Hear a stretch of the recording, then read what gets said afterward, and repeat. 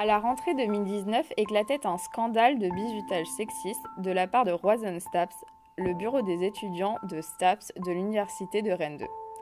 Cette nouvelle, pas très surprenante ni rare dans les BDE, avait suscité beaucoup d'indignation et d'intérêt par les médias et sur les réseaux sociaux. Rappelons-nous des gages dégradants à base de lécher des toilettes et se tatouer des Martines au week-end d'intégration et de la guirlande de soutien-gorge. Et s'en sont sans trop de surprise avec une tape sur les doigts de la part de l'université. Cette affaire illustre parfaitement le sexisme, trop souvent excusé et oublié, à l'université notamment. Ce n'est pas le premier BDE à provoquer un scandale de ce genre. Viol, harcèlement, sexisme institutionnel. Il est d'autant plus courant dans les filières très genrées comme les STAPS. Je m'appelle Élise, en master recherche d'anglais à l'université de Rennes 2, et aujourd'hui, je vais parler à deux étudiantes, Léna, en Master 1 STAPS à Grenoble et Kelly en Master 1 Recherche en anglais afin d'aborder ensemble leur vécu dans ces filières très très genrées que sont STAPS où il y a une majorité d'hommes et anglais où il y a une majorité de femmes. Bonjour déjà, est-ce que tu peux te présenter s'il te plaît et me dire ce que tu fais euh, dans la vie? Du coup moi je m'appelle Léna, j'ai 20 ans et euh, là cette année je suis en première année de Master STAPS à Grenoble et je sors de trois ans de licence euh, à Rodez en Aveyron. Eh bien, bonjour, bah, je suis étudiante euh, à Rennes 2 en LLCE anglais. Je suis en première année de master recherche. Quel est ton ressenti euh, personnel, ton vécu de femme en fait dans le milieu des STAPS Est-ce que tu le vis bien? Est-ce que tu as des difficultés parfois bah, J'étais un petit peu inquiète en rentrant en première année parce que je savais que c'était quand même il y avait une grosse représentation de garçons. Et finalement, j'ai vraiment très bien vécu mes trois ans, surtout au niveau du, bah, du boulot universitaire et des profs. On a, je, je me suis jamais sentie mal ou stigmatisée, ou j'ai jamais eu de gros problèmes par rapport à ça. Et après, c'était juste un peu compliqué. Euh, au début de la première année, j'ai eu un peu de mal à m'intégrer parce que du coup, j'étais dans une classe où j'étais la seule fille. Et, et là, j'avais du mal à aller vers des, des groupes de mecs déjà faits pour, euh, pour me faire des amis. Et finalement, au bout de 2-3 mois, ça s'est vraiment débloqué. Je me suis fait un bon groupe de copains et, et ça a été du coup. Quel est euh, ton ressenti personnel, euh, ton vécu de femme dans le milieu des études anglophones? Je trouve que c'est un, c'est un peu à double tranchant. C'est-à-dire que moi, quand j'ai commencé, enfin déjà dès le lycée, dès qu'on nous a parlé, j'étais en, première euh, littéraire. Et en fait, euh, on nous a directement un peu, surtout les, les, filles, forcé à aller en langue. Moi, j'ai pas apprécié parce que j'avais l'impression que bah, du coup, j'étais forcée que à un choix et que je pouvais pas faire quelque chose de scientifique ou autre. Donc en fait, ça a fait que je suis allée, euh, j'ai fait une licence autre, j'ai fait psychologie parce que j'avais pas, j'avais pas envie d'être un mouton, j'avais envie de savoir que c'était moi en tant que femme qui avait décidé et pas un peu la société qui pensait que littérature égale forcément femme. Mais au final, je me suis rendu compte par moi-même, et c'est le plus important, que j'aimais l'anglais et les langues. Mais dans le cursus, que j'ai remarqué, c'est que on nous limite beaucoup en fait niveau, niveau métier en tant que femme. On doit être que professeur. Ok. Et est-ce que tu penses du coup que ton genre a pu avoir une influence euh, sur ta carrière universitaire et sur tes travaux universitaires? Sur mes travaux, je ne pas du tout. Euh, oui, je pense beaucoup. Hein. Je pense qu'il y a, une part. Euh, alors, je ne sais pas si je devrais dire que c'est que forcément, si je, en tant qu'étudiante en langue, je pense que c'est tout simplement la société, n'importe quel sujet, enfin, cursus que j'aurais fait, il y aurait eu un impact à cause de mon genre. Mais par exemple, je sais que si je veux faire des exposés ou parler d'un tel sujet, d'ailleurs, c'est un peu le cas avec mon mémoire, parce que dedans, il y a l'étude du genre. Et ben, à cause de mon genre, je sens que je dois prouver plus parce que je remarque que, par exemple, si on parle du jury qui va, par exemple, étudier mon mémoire, j'ai l'impression que je vais devoir être beaucoup plus scientifique, plus neutre parce que eux ils vont penser que je vais être trop dans euh, dans l'émotion et ils vont pas penser comme ça si c'était un homme par exemple qui allait faire le même sujet que moi. Est-ce que euh, d'après toi, euh, enfin ta filière est très genrée, tu l'estimerais à combien de pourcents à peu près Euh, oui, quand même, surtout, surtout en première année, j'étais dans la promo entière, je sais pas, mais dans mon groupe, j'étais toute seule, la seule fille sur 20. En deuxième année, on était trois, et après, plus les années passent, c'est plus. Là, cette année en master, c'est 50-50. Euh, mais quand même, globalement, c'est très genré, moins qu'il y a quelques années. Du coup, euh, tu trouves qu'il y a une évolution entre euh, le début de la licence et le master, que ça se féminise beaucoup? Oui, ouais, vachement, mais c'est aussi parce que là, je suis en master, c'est une spécialité, ça s'appelle activité physique adaptée, et c'est en relation avec le domaine de la santé. Et mhm. je pense que ça joue aussi pas mal, parce que je, je vois d'autres filles autour de moi, par exemple la filière entraînement, où là, c'est comme en première année, il y a, y a très peu de filles. Ouais, globalement, plus les années passent, c'est plus on est nombreuses. Du coup, euh, on a pu constater qu'il euh, y avait euh, énormément de femmes dans cette filière, la LLCE. Est-ce qu'il y a une raison pour toi? Est-ce que tu as pu voir une évolution au fil des années dans, parmi les étudiants et les étudiantes?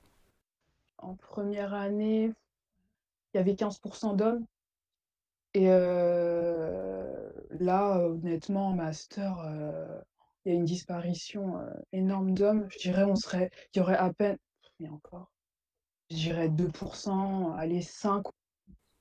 Dans la continuité un peu de cette carrière universitaire, chez les profs, est-ce que tu vois que c'est que des hommes ou une très grande majorité, ou alors est-ce que c'est 50-50 euh, bah, chez les profs, j'ai demandé à des copains qui, sont, qui veulent faire prof de sport et qui sont en stage en ce moment. Globalement, ils pensaient que c'était un tiers, deux tiers à peu près. Mm-hmm. Et par contre, c'est vrai qu'il y a enfin, tous les métiers du sport où c'est des métiers vraiment en responsabilité, genre par exemple les comités des, des JO ou euh, au niveau des juges, des arbitres ou, ou des entraîneurs nationaux. Là, c'est vraiment flagrant quand euh, c'est vraiment masculin. Et euh, tes, tes, profs à l'université, tu as, eu, euh, majoritairement des hommes ou pas du tout? Pas tant que ça, non. Euh, un petit peu plus, mais c'était pas, c'était pas énorme la différence.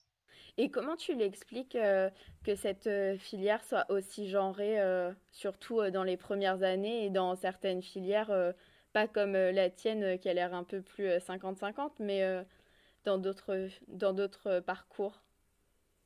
Je pense que c'est entré dans les, dans les habitudes, de, se dire que STAPS. Euh, en fait, il y a les inégalités au niveau du sport en général qui ressortent dans la filière d'accès au métier. Mais ça va vraiment mieux qu'il y a quelques années. Et je, on a pas mal de profs qui, allaient, qui faisaient pas mal d'efforts par rapport à ça. Et, et, on a eu quelques cours, enfin, pas mal de cours où, où ils nous donnaient des thèmes là-dessus. Donc, c'est quelque chose, euh, vous avez un contenu euh, qui est un peu euh, inclusif au niveau du genre. C'est, enfin, vous faites des études un peu du genre euh, dans, dans, ta filière pour essayer de combattre euh, tout ça, s'adapter. Ouais, on était un peu sensibilisés quand même. Je trouve que c'est très cliché dans les matières. Par exemple, on n'a que deux femmes pour la civilisation, donc le côté histoire, et on en a beaucoup plus que pour, pour les dans, dans, le côté homme. En fait, je ne sais pas comment expliquer, mais les femmes, c'est vraiment, niveau professeur, c'est traduction, civilisation, peinture, des choses comme ça. Et ça reste toujours dans ce côté littéraire qu'on on pouvait retrouver euh, au XXe siècle, XIXe. C'est, c'est très ce, ce, côté euh, toujours un peu, euh, je ne sais pas comment dire, comme les aristocrates, un peu, je pars peut-être loin, mais comme les aristocrates qui devaient faire leur petite éducation. Et elles devaient toujours un peu dans ce côté peinture, littérature, et ce côté très histoire, etc., c'était beaucoup plus réservé aux hommes. Et je trouve que c'est un peu la même chose, sauf que c'est mis de manière beaucoup plus moderne. Et je pense à certaines professeurs, bah, surtout en civilisation, elles ont dû se faire une place, et d'autres, même en linguistique, je peux penser, bah pareil, elles ont dû se faire une place, que la manière dont elles ont dû se créer, se faire une place. Donc vraiment, il n'y a, y a pas du tout un 50-50 euh, niveau euh, professeur homme-femme. Et même s'il y en avait, on sent que euh, dans, les, matières, bah, c'est complètement euh, renversé. STAPS, euh, c'est une filière qui est assez populaire pour son image bah, très genrée au masculin déjà, mais avec une réputation dans l'enseignement supérieur et de la recherche de très fêtard, de, enfin, de soirées, de drague. Qu'est-ce que tu en penses? Est-ce que tu penses que ça reflète vraiment la vérité? Ben oui, quand même. surtout en licence. Là, cette année, bon, de toute façon, à distance, donc c'est différent. Mais... ouais, en licence, quand même pas mal. Après, de drague, je sais pas trop parce qu'on était quand même. Enfin, en fait, les filles étaient bien intégrées dans les groupes de mecs. Et... Mais oui, au niveau fête, oui, c'est vrai que c'est oui, un peu exagéré, mais, mais c'est pas que des clichés non plus. Quoi. Et du coup, euh, t'as pas l'impression, euh, toi et tes amis, d'avoir euh, subi beaucoup de sexisme, même, euh, même des, beaucoup de blagues sexistes ou un peu du sexisme ordinaire par rapport à l'extérieur dans, dans ta filière? Si, si, si, oui, quand même. Après, je pense qu'en fait, c'est quand ça rentre vraiment dans le quotidien et que c'est tout le temps fait sur le ton de la blague, on ne fait plus tellement attention. Mais... si par exemple, il y avait un truc qui m'avait. Ça m'avait un peu étonné en fait en deuxième année, on avait fait un stage de ski de fond. Et ça m'a surtout étonné parce que c'était quand même un bon copain à moi. À l'évaluation finale, j'avais fait un meilleur temps que lui et j'ai vu qu'il était vraiment vexé. Alors qu'il y avait plein de copains à lui, mecs, qui l'avaient battu aussi. Mais le fait que ça soit moi, c'était. En fait, dans toutes les pratiques sportives qu'on avait, euh, ouais, euh, on avait, si on faisait mieux que, que des mecs, c'était quand même, euh, c'était pas forcément bien pris. Est-ce que tu as l'impression que toi ou certaines de tes camarades de classe, par exemple, vous avez changé votre attitude pour être intégré dans, au sein en fait de la communauté universitaire de STAPS avec tes camarades, tes profs Est-ce que vous avez changé peut-être votre façon de parler ou pas du tout, de vous comporter avec, avec eux? Peut-être un tout petit peu, ouais, surtout bah, toujours pareil en première année. Avant que je tombe vraiment sur mes bons copains, euh.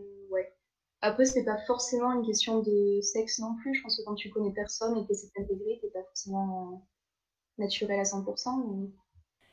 Quelle image euh, est-ce qu'on a de ta filière d'après toi? Et est-ce que tu penses que le fait que bah, les femmes euh, y soient très très présentes, ça soit lié en fait à ça? Au début, je sais quand j'étais en première année, c'était euh, un peu vu comme une filière de ce que j'entendais, un peu euh, vu comme facile. Tout le monde est tranquille, c'est juste on apprend l'anglais. Maintenant, enfin surtout à Rennes 2, de ce que, je sais, avec euh, vu comment il y a de la notation difficile et des choses comme ça, de ce que je de j'entends niveau éco, c'est plus pris au sérieux parce qu'on a vu beaucoup de on voit beaucoup entre les années, euh, surtout entre la première et, deuxième année, un, écrémage énorme. C'est-à-dire, on pourrait être, euh, je sais pas, 400 élèves et au final, on finit. Euh, je me rappelle, il y a une promo, on nous a annoncé qu'on était 120 pour la deuxième année, alors que ce nombre-là devait être pour la troisième année, donc c'est pour dire. Mais je pense que ça joue un peu cette réputation parce qu'il y a beaucoup de femmes et qu'on est un peu vu comme le côté sérieux, en fait. Côté calme, très, studieux. Est-ce que euh, tu as l'impression que le genre est vraiment un sujet central euh, dans, euh, dans tes contenus de cours et enfin quand tu parles à tes camarades, est-ce que le genre est assez, assez ancré dans vos conversations, qu'elles soient à propos des cours ou, ou autres? Pour la civilisation, par exemple, oui, je dirais, parce que bah, vu que c'est de l'histoire et que ça empiète bah, sur, euh, notre, euh, sur notre époque, il faut bien en parler. Mais à part la civilisation, à part aller, on va dire, et encore, parce que maintenant on n'a plus vraiment ces matières-là, la littérature, euh, et encore, c'était pour parler du genre, mais d'avant, bah, dans les autres matières, non, le genre est très oublié. Et même s'il est cité, à part vraiment parce que je pense en fait à une professeure particulière qui vraiment pousse le, le, sujet sur le genre, euh, voilà. À part cette professeure-là, le genre est très balayé. C'est-à-dire, on va dire des choses que j'estime, moi, en tout cas, euh, connues de tous. C'est-à-dire, on ne va pas apprendre énormément. Dans les références et les ressources euh, qu'on vous donne dans le contenu de tes cours, est-ce qu'elles sont du coup particulièrement masculines? Comment dire? C'est un système, enfin c'est tout un système à revoir, non seulement du gouvernement, mais aussi de enfin, des, enfin, du système patriarcal qui veut tout simplement pas que les femmes aient une place euh, alors qu'elles ont fait autant de, tra- de travaux que les hommes, si ce n'est mieux. hein. Il y a déjà, il y a plein d'hommes, euh, soi-disant, on les met comme pionniers de certaines choses et on découvre euh, qu'en fait, non, c'était les femmes qui étaient derrière euh, depuis le début. Donc je pense que, bah, bien sûr qu'on pourrait, mais malheureusement, les on le sait tous, ceux qui contrôlent les choses, bah, malheureusement, c'est pratiquement des hommes. Donc, euh, on est un peu dans une embûche, quoi.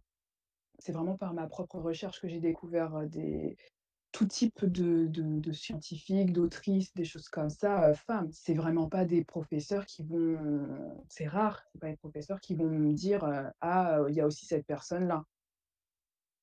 Et et est-ce que tu penses qu'il y aurait moyen d'avoir davantage de contenu féminin? Il existe pour combattre ça, il pourrait être apporté. euh.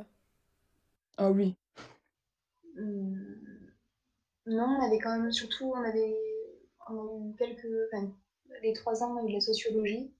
Et là, je crois que tous les ans, on en a parlé de, des inégalités d'accès au sport, donc pas que euh, au niveau différence hommes-femmes, mais, c'est revenu un peu tous les ans. euh. Donc là, ouais, non, pas du tout, non. Ok, donc la sociologie permet un peu de d'ancrer ça euh, dans votre cursus, euh, c'est plutôt cool. Ok. Et vous, dans, dans votre contenu théorique, euh, majoritairement, euh, quand vous cite euh, des noms d'experts, ça va être très masculin ou ça va être euh, 50-50 euh? Là, surtout, surtout cette année, par contre, plus en licence, j'avais pas mal de matières peut-être plus scientifiques, quoi, style physio ou biomécanique. Et là, par contre, j'avais que des profs hommes.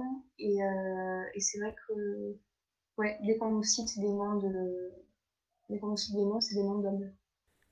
Et euh, du coup, euh, toute autre question, est-ce que vous avez des associations euh, féministes actives euh, que tu connais euh, dans ta filière? Ou alors est-ce qu'il y a un, un système de solidarité euh, en place euh, entre, euh, entre femmes euh, dans ta filière?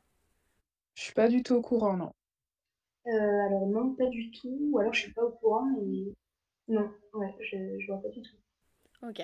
Parce qu'en fait, euh, quelque chose qu'on voit souvent euh, dans d'autres euh, écoles, par exemple, c'est les camarades qui se refilent un peu des noms, par exemple, de profs ou d'étudiants qui ont eu, enfin, avec qui des, des femmes ont pu avoir des soucis, ou avec des histoires de harcèlement, de violences sexistes et sexuelles et tout ça.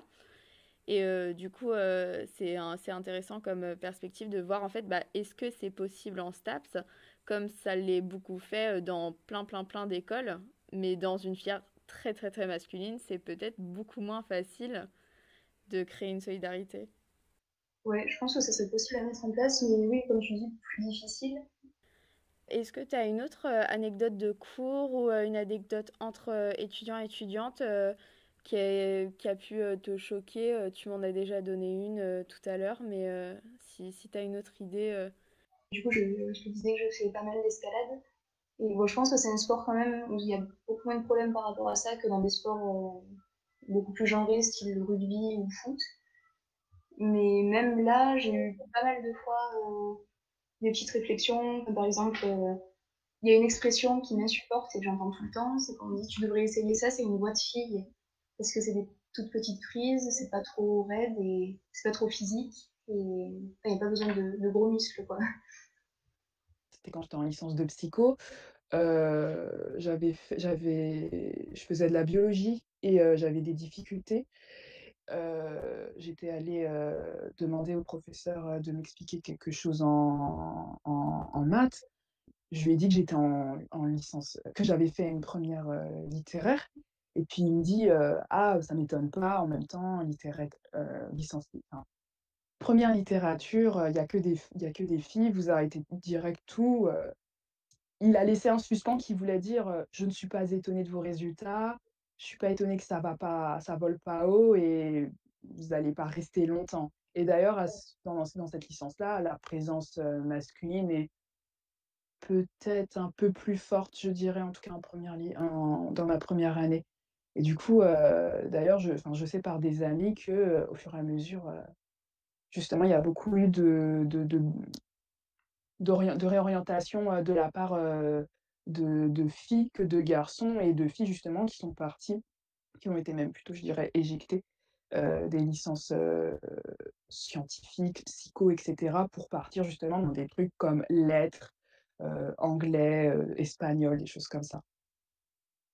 Pour une dernière petite question, D'après toi, est-ce qu'il y a quelque chose qui te manque et est-ce que tu as des idées de choses à mettre en place pour lutter contre le sexisme à l'université dans, ta filière notamment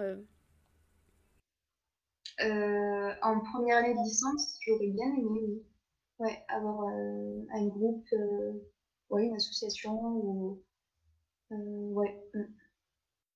Moi, je dirais qu'il faudrait faire des interventions comme, comme, comme quand on pouvait en, avoir de tout type au lycée, c'est-à-dire consacrer une. En fait, ouais, clairement, consacrer, je sais pas, une heure de, de, de, prévention, de, d'ateliers, des choses comme ça, voire même rendre ça obligatoire comme une validation de la méthodologie, de la méthodologie, des choses comme ça, parce que c'est essentiel et c'est quelque chose d'important.